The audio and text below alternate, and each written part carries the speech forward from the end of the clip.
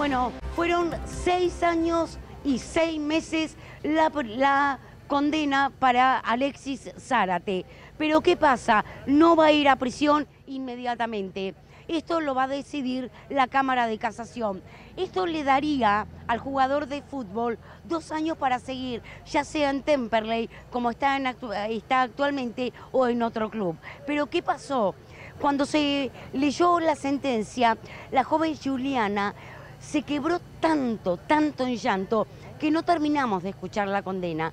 ¿Por qué? Porque desde el 14 de marzo, del 16 de marzo del 2014, Juliana viene siendo acusada absolutamente de todo. Y nosotros conocemos lo que son las chicas botineras. No es el caso de esta joven. En ningún momento cruzaron las miradas, cada uno estaba de su lado del, estrado mientras se leía la, la condena. A ver, nosotros vamos a estar en instantes nada más con eh, la abogada de la joven víctima. Eh, ella nos va a explicar precisamente, puntualmente, por qué eh, Alexis Zárate no va a cumplir la condena. Pero cuando salimos pasó algo, que fue que una colega de Canal 9 pudo entrevistar a Alexis Zárate. Él dijo que el acto sexual fue consentido y que él confía en la justicia de Dios y que aparte él, eh, en las próximas horas va a hablar con los directivos del club para ver a ver qué hacen. Esto es lo que ocurría aquí en los tribunales de Lomas de Zamora.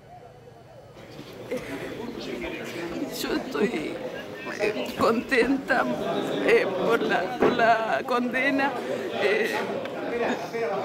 ¿Podrías bajar vos? Pero no por el no pedido de detención, porque yo estuve tres años y medio detenida mientras él estuvo libre y va a seguir libre. Y espero que se haga justicia, se hizo justicia por mí y por todas las chicas que le puede llegar a pasar la misma situación. Condenado a seis años y medio. Bueno, aquí está la doctora Raquel Hermida Leyenda. Vamos a escucharla, precisamente por qué Alexis Zárate no va preso. Porque no tiene antecedentes jurídico-penales anteriores, aunque por mi perfil criminológico esto ya lo hizo y lo va a volver a hacer. Él es un abusador. A ver, doctora, eh, se acusó absolutamente de todo a la joven víctima. Se la acusó de botinera, de tener una vida sexual muy activa. Digo, fueron muchos años en que ella padeció todo tipo de injurias. Bueno, yo con respecto a, a, eso quiero aclarar que si bien Juliana no era una botinera, que sí es cierto que Juliana trabajaba, estudia, estudia en la universidad, a mi criterio poco importa esa situación personal de Juliana. Yo la hubiera defendido aunque fuera una botinera.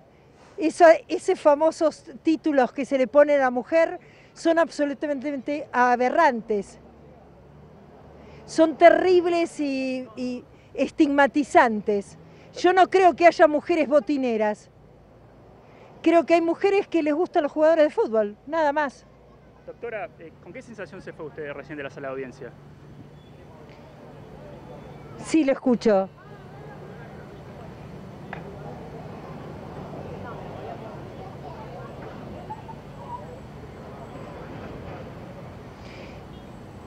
No, yo normalmente me baso en pruebas.